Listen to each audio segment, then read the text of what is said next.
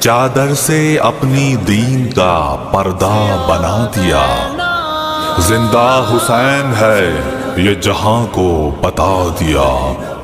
बादे हुसैन, दीन को चलना सिखा दिया। कैसे बताऊँ, सानिए जहरा ने क्या दिया।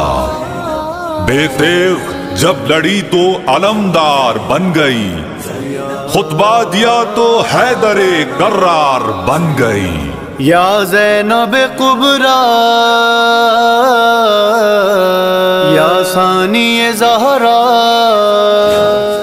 सैयद वजारत हुसैन नकवी जो कि इसके बानी हैं 11 मई 1973 को पाकिस्तान के एक ऐसे इलाके जो बहुत ही आकवर्ड जहाँ पर कोई आना भी पसंद नहीं करता था, वहाँ इस मुकद्दस इमारत की बुनियाद रख दी गई। कमाल खिलकत परवरदिगार है जैनब। नबी कमान अली का वकार है जैनब। जलाल रब की कायनादार है जैनब। कलाम करती हुई जुल्फ़कार है जैनब। जो जाने कौन मका है, ये उसकी बेटी है। जो अपने बाप की माँ है, ये उसकी बेटी यहाँ पर पूरी दुनिया से बिना तफरीक, बिना मसलक लोग अपनी दुआएँ लेकर, अपनी हाजात लेकर यहाँ पर हाजिर होते हैं।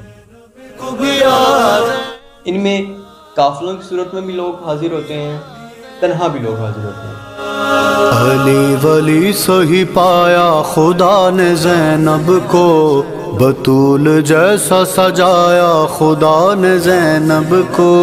जिलों में अपनी जिलाया खुदा ने जैनब को।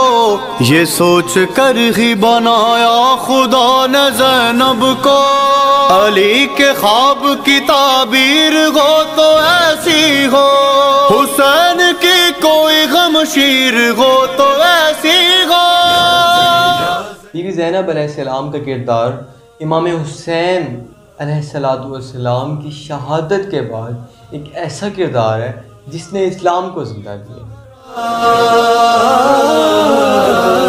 या ज़ैनब ज़हरा इसी के दम से सरे शाम घर उजाला है। इसी के अज़म ने इस्लाम को संभाला है। हर एतबार से जो मोतबर हवाला है, इसी ने गोद में उस करबला को पाला है। अली के लहज में जब ये कलाम करती है तो इसको बलागा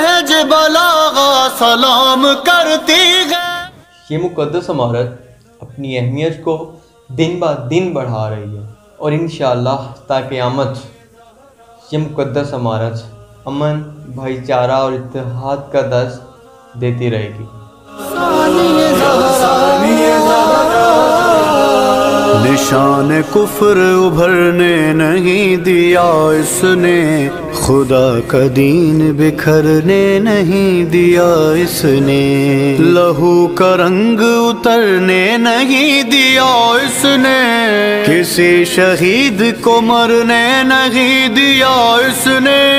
खुदा के दीन की सबसे बुजैन लगने लगी, ये जो निकली हुसैन लगने लगी। में ना यार कसूर हमारा नहीं है।